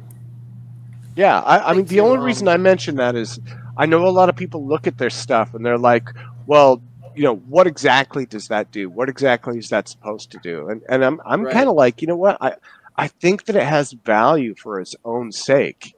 You know? No, for sure. the importance of like okay what if a disaster happens what are you gonna do you know like how are you gonna uh, charge your cell phone how are you gonna turn on your tv how are you gonna keep your fridge you know uh, cold and you know the best place i think to market this stuff uh, would be you know those people that like you know tell you doomsday uh, uh, packages where you have this much food that can Some last preppers, right? Yeah. No, I survivalists. I I'm I figured Lulu. I figured that one out. I solved that. So because I, I was born in '76, I'm a child of like the '80s, right? And so we had the threat of the Cold War hanging over our heads. And eventually, I realized that if there is a doomsday scenario, I'm just gonna like die immediately, and then the rest of you guys can figure out survival. No, Tim, no. Don't be one of the first to I'm go. I'm in the first wave out of here. That's Well, was- at least you're at peace with your soul, right? You're, I was, you're uh, at peace with your life, you're good I was born in I was born in '73 when they had the uh, oil embargo. yeah, yeah. People forget about Like, that. The lines. Yep. is here. And I'm pretty sure, like in a couple of of weeks, we're going to be hit by something big. And, you know, like let's say a lot of Houston is going to go, like, there's not going to be power for like weeks. And, you know, and, n- not a lot of people can afford. You know, the a good working generator is like 500 plus dollars, and a lot of people can't afford that. But if, you know, we Or the fuel to then have to put in that, right? Yeah, like, fuel Well, imagine having one of these coils in the trunk of your car along with the spare tire. You know, you hook it up to what, like a nine volt battery to jumpstart your car. I'll, I'll Yep. do you one better. these Imagine one of we those need coils. E- even the power cells that I'm working on could be a real game changer for a lot of people, right? Because it's a solid state device. So I'm working on that really, really hard right now. Yeah, Actually- you, you, you could, you, For sure. could, you could and then the, the other the other fallback is move to the Seattle area because nothing ever happens here. Like uh, you know, like I'm Until the about big one. Well, Or unless you start Cash App and then get stabbed walking to your car, apparently, or Oh, or Seattle? um, I heard San Pelosi's Francisco's really bad. Don't they live up and, there? and uh, well, I'm halfway between Seattle and Van. So and Van is So the earthquake. Oh, yeah. Earthquakes. to go good. back to your idea about the Tesla conference, I think that's brilliant. And if we can't do the Tesla conference, I think we should start our own conference. Well, Yeah. Do an actual APEC meetup conference. There So, we uh, go. We got to pick a Oh, spot. there we go. Yeah. If I yeah, if you could give me just a just a sec. The, so um, the mm-hmm. the SCU right, the UFO guys, we are in talks with them about APEC becoming a part of like a part of their coalition. And if that's the case, we mm. might end up like basically tailgating on their live conference. And so that's a possibility. Or if you guys all wanted to get together at Tesla Tech like next year, let me know and I'll bring I'll bring the camera and I'll do video and I'll do the whole we're nine gonna do both. Oh, where's yeah. it? I'm where's it, committing the to Tesla both. Tech? I'll go. So yeah, Where, Sounds like a lot of where is the Tesla Tech? usually they're in, usually Tesla Tech's Albuquerque. New Mexico. And Oh, he yeah. and Steve invited me this year, but I, I I'm traveling, so I'm I'm going to Jim Woodward's.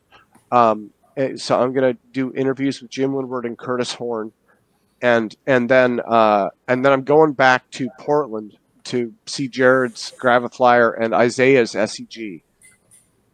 And then after that, I'm probably just going to Very collapse. nice. I'm so jealous right now. You get to see a Graviflyer and an SEG. So Tim, son why you why you can't be the first to go? Well, we just have to get it done before the apocalypse. I guess is the moral of the story. But by the time you're done all your travels, we'll have gotten a UFO or a portal Dude, for you. I so, you downgraded. know- I I downgraded from the apocalypse. I like it doesn't even have to be doomsday. I'm thinking about like taking it taking the level down to like minor flooding. You know, like it, minor flooding. That's it. I'm gone. You know, Still, bi- hey, it's still biblical. It's still biblical. it is. It is exactly. Hey, everybody's forgot about an asteroid strike. That's the scariest. I don't think the dinosaurs forgot about it. yeah, or Yeah. The, the killer bees. Yeah. Well, I had a deadly thinking when I was younger about the states and Canada, and I'm telling you, it's not pretty. I pray it doesn't happen. But the funny part is, is last week I was watching somebody who had that very same dream, except they didn't go to the same extent that I did. And it starts with a meteor, and then hits the east coast, starts a tidal wave, which also starts a chain reaction where the New Madrid splits. But because the New Madrid splits, Yellowstone goes off, 30% value. The concussion from that sets off Cascadia, and it splits from Louisiana, the, the New Madrid, all the way up through Canada, and then it turns a left in Manitoba, all the way through up to Alaska. See how complicated. Okay, this now is, you're giving me Gerald? See how complicated this is. Wow.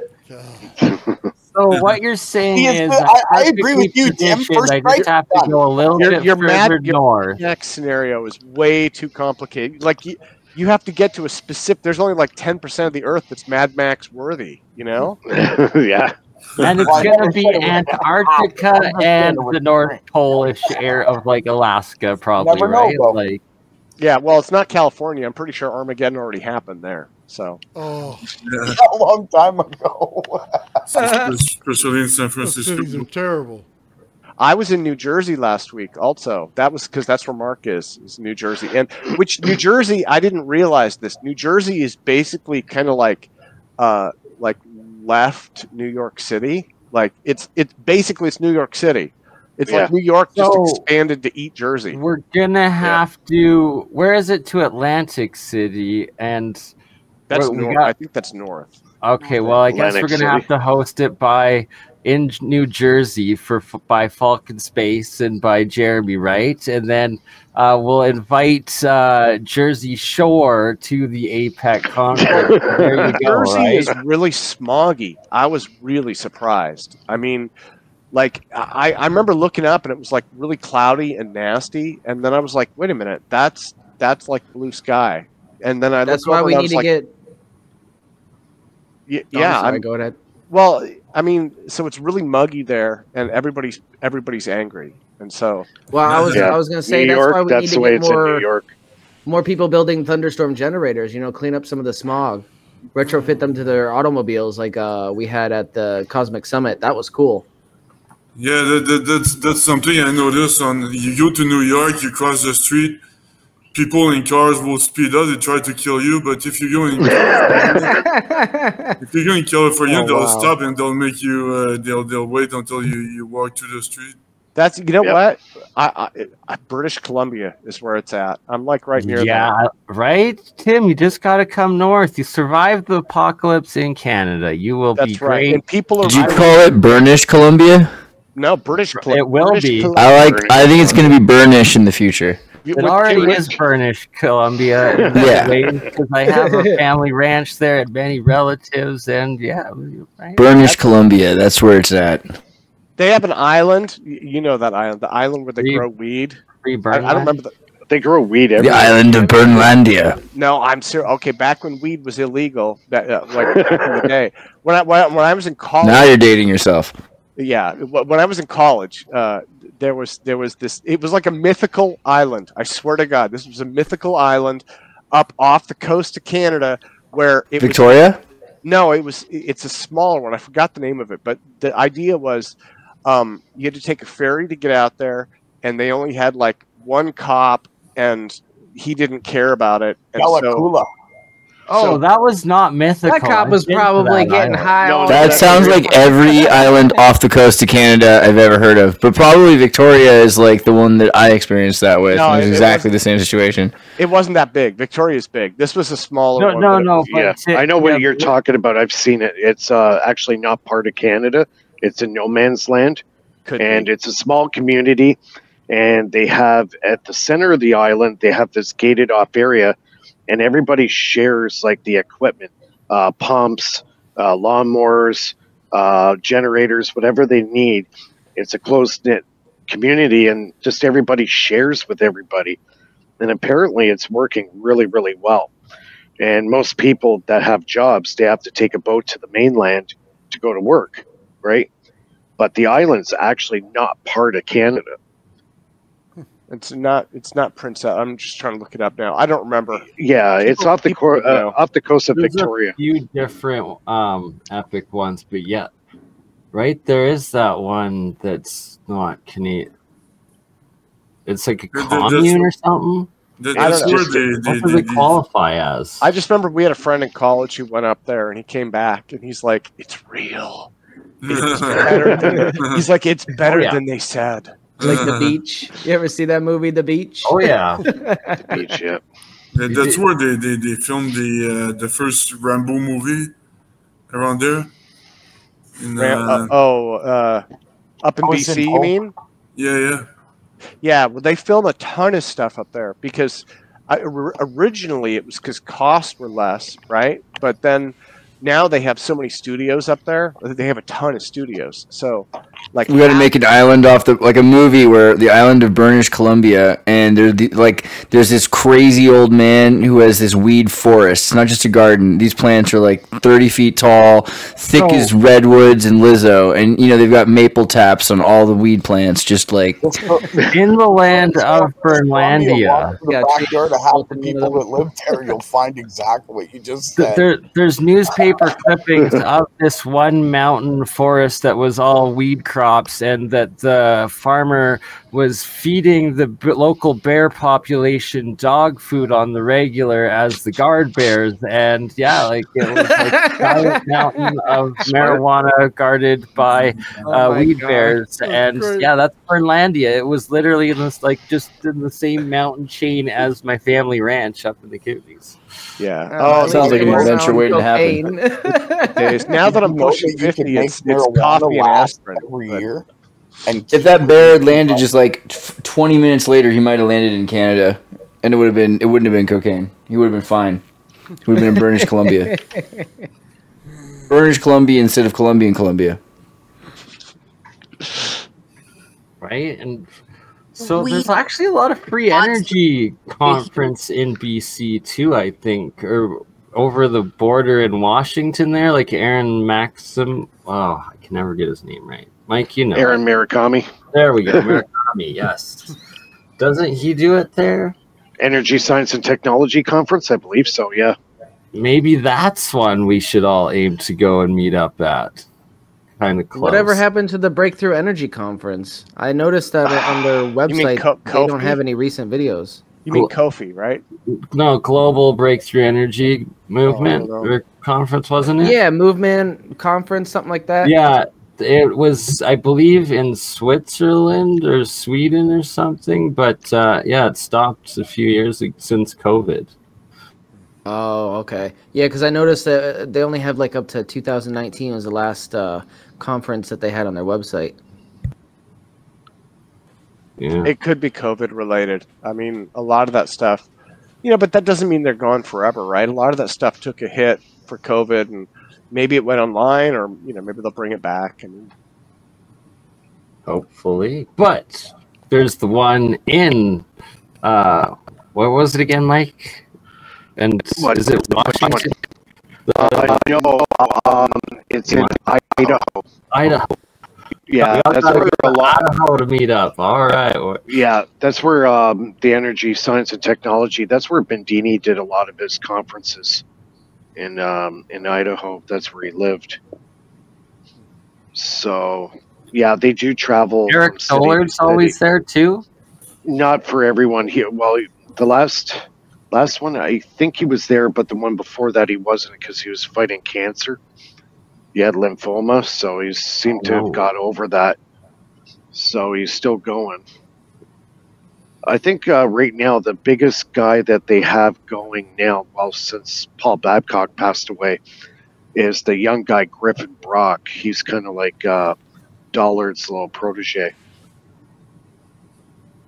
So that's one guy to watch, uh, Griffin Brock. He's replicating a lot of the original Tesla gear. So Oh, by, by the by the way, guys, before uh, it's been almost two hours, but I just want to say that uh, in August, uh, some some professional laboratory accepted to to replicate my experiments, and it's gonna cost twenty thousand dollars, but they'll pay sixty percent of it, and I need to pay the rest, so eight thousand dollars. And That's not bad. uh, yeah, so That's good uh, news. That's really good news. yeah, Congratulations. Yeah. In August, Bill. we'll, we'll know uh, officially uh, the, the results with greater power and so on. So uh, stay tuned for that. And uh, meanwhile, I, I need to uh, I need to sell my chocolates to make uh, eight thousand dollars. That's a lot of chocolate. yes, I need to start soon, next week. So I'm gonna do So- do door to door.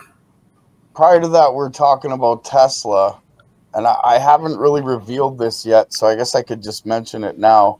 I don't think of it as a big deal, but I found a way of using water as a ground line. And tomorrow morning, I'm going to my local creek and I'm going to see what sort of distance I can get out of using that creek as a ground line. So, Oh my um, my. yeah, that'll be that'll be cool. Yeah, Yeah, one wire wireless. I've done it in uh, a big, huge bowl from one side of the bowl to the other, and Right. no issues. I've got LEDs lighting up. It completes the circuit. So Brilliant. I want to do it in a creek and see if there's a difference So- between dirty and That's clean interesting. water. I think uh, there's a video of Daniel Nunez doing something similar where there's a specific frequency he's putting into a cup of water. And uh, yeah, completing slightly different though. I'm using the water as a ground. Yeah. That's So what's that's the just what still was really I get what you're saying, Gerald. You could, like that's quite the extra like potential to be adding in. that. Like, uh, you got to record it and you got to use that in the APEC conference tomorrow. And Definitely, uh, definitely. right, About, I don't know about being in the conference. I don't. I'm not sure I'll have time to do the editing by the time I get back. well, if it's Yeah, still live and yeah. drawing power, right? Just keep it running from when you set it up. I can't. I have to go like way far away Oh. from my house. The the water is safe to touch when when you're using it. When you're uh, Sorry? using the device, the water is safe to touch. It's not gonna like shock you or anything. Oh yeah, I've stuck my hand in it. I've been shocked so many cool. times. I don't care. So for me, it was just like, well, let's see what happens. And Right. the So goal, mind using not the river as as the it almost ground, feels good then- now. Let's Gerald's got the most scientific method of any of us. Let's just see what happens. Let's- Why You know, Malcolm not, right? Bendall infused himself with 250,000 volts. He infused himself with plasmoids. So Yeah, he says plasmoids, but how does he really know? Does he have some Yeah. sort of electron microscope that's telling, like, you're seeing plasmoids in his blood? I mean, don't get me wrong. I love the thought. Is it all blood plasma? it is an interesting idea, and there isn't really no way of knowing. Honestly, we, That's we unless point, right? I could say I put 150,000 balls of of testosterone in my blood. You know what I mean? Like I, I'm not saying he's lying. Really, I'm not. I like Malcolm Bendall. I love his design.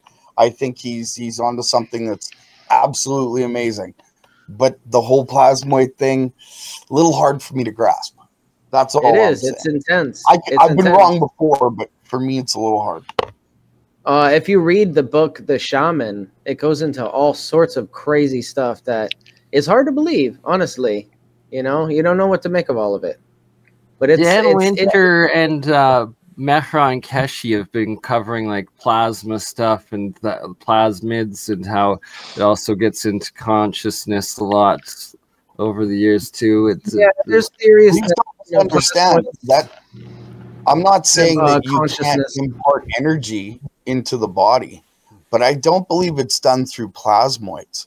I believe it's done through light with sound pushing that light through your body and adding hmm. that energy to each cell.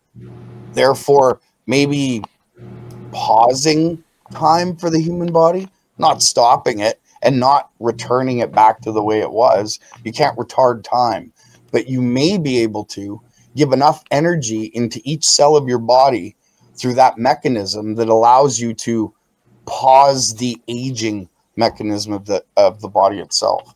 It's it's a theory I have I've been working on. It goes pretty deep into like lamins in each cell and what's contained in each cell, but that's something I can get into in a in a future date. So you wouldn't But- consider it time manipulation, but more of like uh, DNA manipulation? Well, time manipulation, perhaps, but more like time energy being uh, imparted into each cell in a way that it it pauses your aging ability. So I don't know about time manipulation itself, more as energy as a time packet. Negation? If, well, Yeah, that's you- that's not quite the right term I'm, I'm You, using, but Yeah. you just uh, you just increase the energy density and it's gonna slow down time. And Exactly. It's like infusing the Ah, energy okay. in your body through energy density, through light and sound. Or or That's uh, mag ma magnetic, electromagnetic, or gravito-electromagnetic energy. Or all of the above. Yeah. Yeah. Well, guys, I'm going to bail out on you for now. yeah, no worries. We're coming to an end. I Look, wanted to show you guys before we end something an object that I found, which I thought re- really was cool. It's a kitchen whisk, right? Like the ones that you do. But look at the coil structure in on this. That is cool. You, Put a you see- charge on it. Put, a, Huh? put put some voltage on it. See what it does. yeah. Look at look at how many coils in a coil. Like there's four. The like coil within the one- coil within the coil, gyroscope, Yeah. trip coil. like it's one of the coolest little things. And I I figured maybe you know this uh, might work. You know, let's see what it That's does. really neat. yeah. Put it into a plasma tube. See what Yeah, but I- how they had the little like I don't know if you could see Oops. There she goes. Oh. All right, Tim. Well, have a good night, sir. I know you got some editing to do. Rest up your voice, and we will see everybody Yeah, well, uh, at see you Apex guys, man. tomorrow. Stay healthy. Yeah, have a there good are night, See out there. tomorrow. Have a good one, guys. You as well, brother. Um, closing words uh, for everyone, and then with five minutes left, I promised Mike I would play uh, his design of, I guess it's the swastika generator, but uh, Gammadion. Use the Gammadion word. right? But yeah. Anywho, close words, Nathan, uh, Mike. Gerald, I'm looking forward to tomorrow. Can't wait to see it. Yeah, Yep. so am I. I've been working on the presentation all week. I've got it on my computer. Everything seems to be working okay. Uh, as long as I don't get smacked down by some other force I'm not looking at or seeing, I'm gonna be there. Is that conference available online? What's that? Oh, it's APEC. Yes, we'll be streaming it on all our channels tomorrow. APEC, yeah. Starts at uh, two, I believe, and goes till eight or something like that. Are you at the beginning or at the end of the? Uh, the I'm at four, four or six. I'm towards the end. okay. Before Mark Sokol does the the update for the Okay. Cool. staff or whatever they're doing there. Okay. Awesome. So, peace, dudes, and uh, take it easy, man. Much Heck love, yeah, Phil. that's gonna be fun. Congratulations on your upcoming test this summer. Thanks. And uh, yeah, I'm, I'm I'm pretty optimistic for that amount of money you have to be. Oh, I got one more thing to say to Bernie. The trailer, and this is just something that you guys can all think about. The big project that I'm working on The trailer's 90% done. I got a bunch of welding in today and everything. When I'm done this project I've been talking about and sort of leading on to, I'll do a, a big demonstration. Nice. And it'll be live when I do it. So, but uh, I'm almost done. So, Bernie, Well, uh, I'm excited for that. I'll be contacting you shortly. Looking forward to it, and it Yeah. is going to be one awesome summer. Yeah. Summer 2024. Right. All right. Well, promised Mike we would play uh, his design here and the Iron V Gate pulse motor.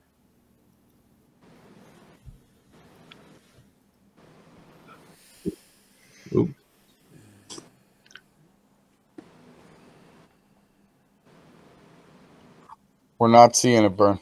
Oh, there we go. Can you hear it? No. Can't, Sorry? don't have any sound. No sound? Okay. My apologies. One second.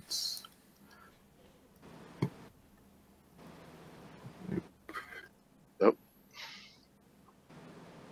Yeah, I got a reloader here.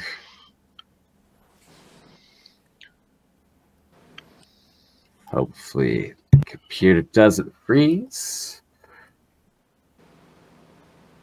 And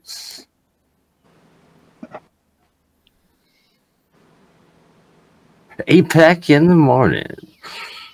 and so on. Just an idea. Oops. Um, Come on.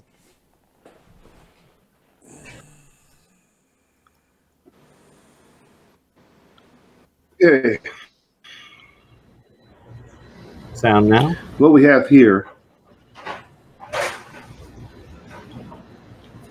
is a piece of iron. Another piece of iron. This is a shaft connected to a three-phase generator for alternating current output. The shaft connects to here, at which point you have four large ferrite rectangular cube magnets in these dimensions to the iron. Same length, same thickness as the iron that you're using. The north fields are pointing out.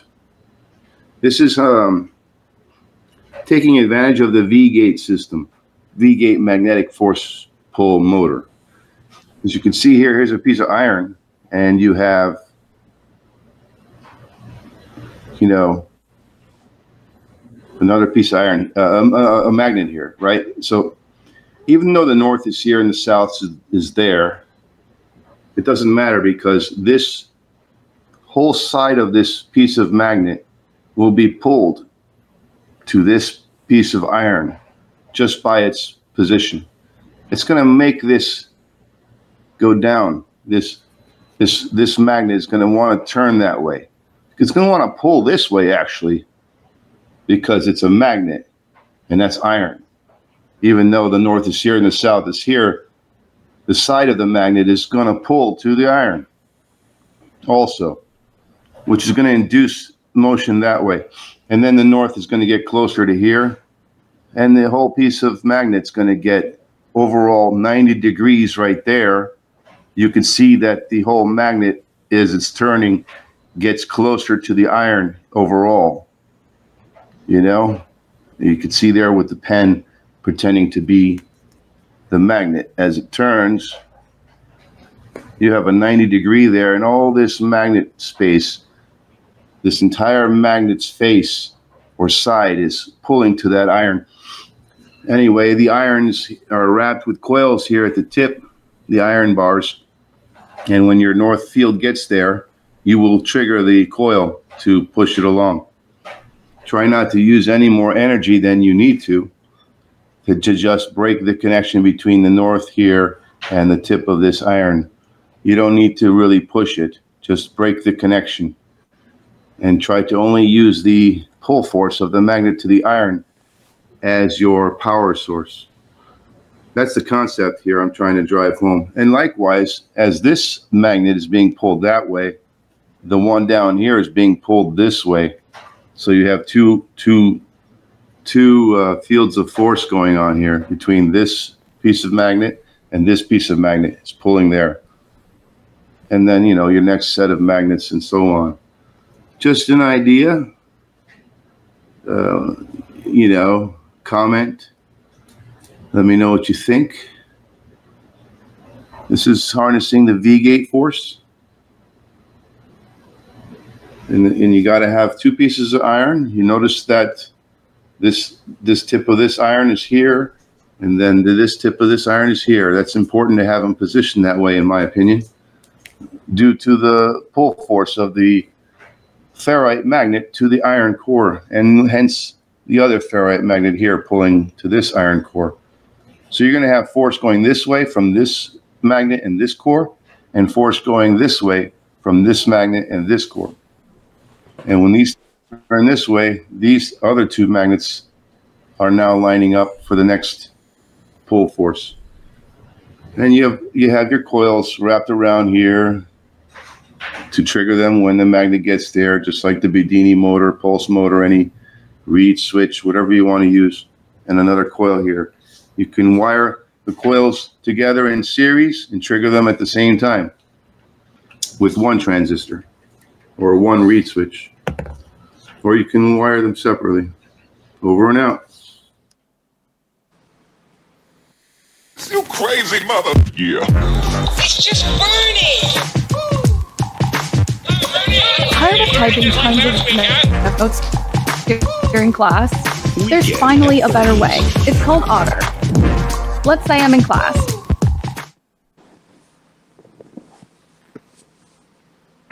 Alrighty. We will call that a wrap. And thank you, everyone. Feel free to stay around and talk if you want. Uh, I got to run, as the wife's called, but I will see you all tomorrow uh, at APEC. Have a good night, guys. Have a good night. Thanks, buddy. Bye.